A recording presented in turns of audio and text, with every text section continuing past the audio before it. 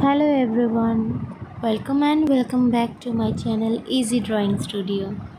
আবারও একটা ঘুরতে যাওয়ার ভিডিও নিয়ে চলে এসেছি। আমার হাজব্যান্ড এখন এদের সঙ্গে খেলা করতে খুবই ব্যস্ত। কিন্তু আমাদের এখন রওনা দিতে হবে। আগের ভিডিওতে আমি দেখিয়েছিলাম আমরা সান্তালা বাড়ি পর্যন্ত পৌঁছে গেছি। এখনও আমাদের বক্সা পর্যন্ত পৌঁছতে বেশ খানিকটা দেরি আছে। আমরা এবার সান্তালা বাড়ি থেকে বক্সার উদ্দেশ্যে রওনা দিয়ে দিয়েছি। বেশ খানিকটা রাস্তা আমরা গাড়িতেই যাব।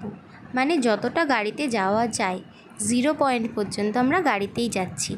এরপরে আমাদের শুরু হবে ট্রেকিং আমরা যখন গতবার এসেছিলাম, তখন এই পথগুলো আমরা হেঁটেই গেছিলাম। কিন্তু এইবারে দেখলাম বেশ গাড়ির ব্যবস্থা রয়েছে। সেই জন্য এবার আমরা গাড়িতেই যাচ্ছি। এইভাবে বেশ খানিকটা যাবার পর গাড়ি আমাদের নামিয়ে দিল জিরো পয়েন্টে। এর বেশি উঁচুতে গাড়ি আর উঠবে না। সান্তলা বাড়ির থেকে গাইড ছাড়া একা উপরে ওঠা অ্যালাউড না।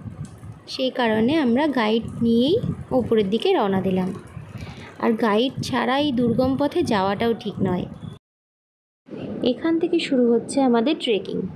বুঝতেই পারছ, রাস্তাটা কিন্তু অনেকটাই দুর্গম। আর এই সুন্দর মেঘের মধ্যে দিয়ে দুর্গম পথে খাড়া চড়াই এ এক অসাধারণ অনুভূতি।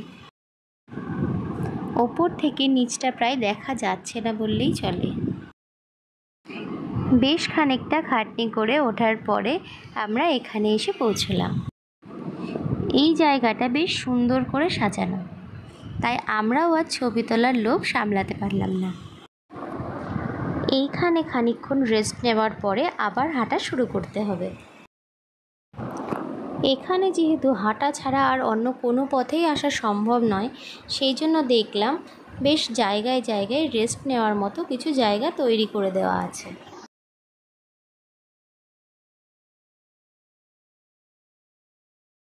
এইখানে আমাদের এই প্রভু ভক্তের সঙ্গে সাক্ষাৎ। চলতে চলতে এনার্জি প্রায় শেষ। এর জন্য দরকার একটু চা। পাহাড়ের কোলে একটা ছোট্ট টি স্টল। ওখান থেকে চা খেয়ে আমরা আবার রওনা দিলাম। এইখান থেকে শুরু হলো হোমস্টে।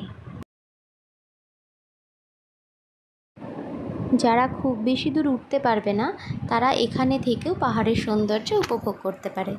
কিন্তু আমরা আরও উপরে উঠব, তাই আমরা এখানে থাকার ব্যবস্থা করিনি। এই রে, একটু হলেই আমি পড়ে যাচ্ছিলাম।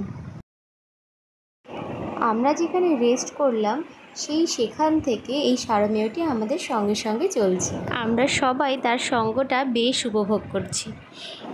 হোমস্টেগুলো এত সুন্দর করে সাজানো দেখলেই এখানে থাকতে মন চায়। ভিডিওতে তেমন একটা বোঝা যাচ্ছে না তবে আমরা কিন্তু বেশ খাড়া ওপরে উঠছি। যতই ওপরে উঠছি মেঘটা ততই গাঢ় হয়ে যাচ্ছে। এখানকার ওয়েদার কিন্তু বেশ ঠান্ডা। কিন্তু ওপরে উঠতে এতটাই খাটনি হচ্ছে, আমরা সবাই ভীষণভাবে ঘেমে গেছি। যেহেতু এরকম পথে চলা আমাদের অভ্যাস নেই, সেই জন্য আমরা জায়গায় জায়গায় বসে খানিকটা রেস্ট নিয়ে নিয়েই চলছি।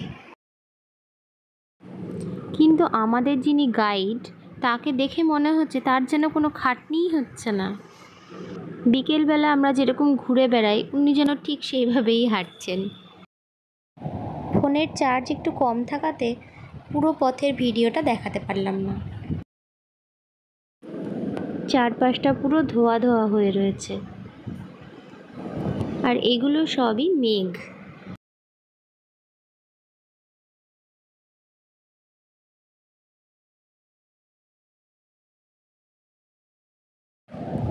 আমরা বক্সা ফোর্টের খুব কাছে চলে এসেছি। এখান থেকে আর সামান্য গেলেই বক্সা ফোর্ট